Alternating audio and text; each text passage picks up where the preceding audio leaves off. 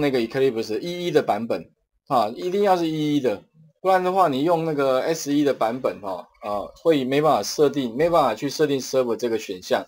那第二个我去什么？去 Tomcat，所以你找一个 Tomcat，关键字就 Tomcat，就它目前最新应该是七点七点零的版本，它也是一样把它 download 下。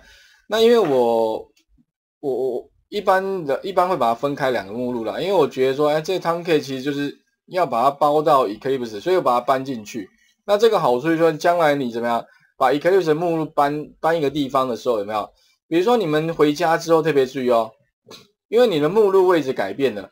所以你回到家之后特别注意，你要把怎么呢？回到家之后又要再重来一次喜好设定有没有？这边的那个 server 里面这个这个有没有？如果本来有的话，请你把它领悟掉，或者是你 edit 一下，确定一下这个路径对不对？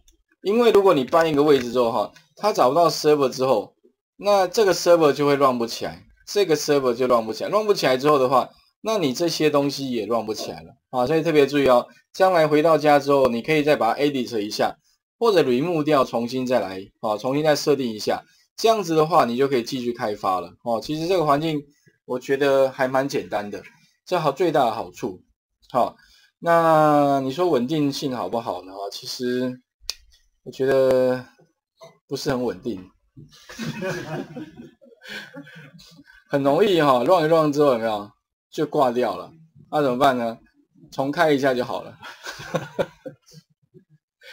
没办法了哦。我这我这我坦白讲，因为有时候乱一乱你多乱一些东西的话，它就莫名其妙就就就 server 就就挂掉了哦。那你就重开一下就好，或者是说你把它 stop 有没有？这底下 serve 在这里啊。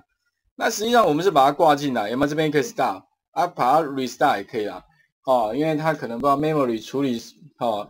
所以它这个当然是你啊开发的时候可以用，但是你真的要架站的话，恐怕要去找一下别的别别的都别的来来架了。不过如果你流量不大，用 t a n k 也 OK。那 t a n k 它有分成，就是说你内部的，就是我们开发的时候用的。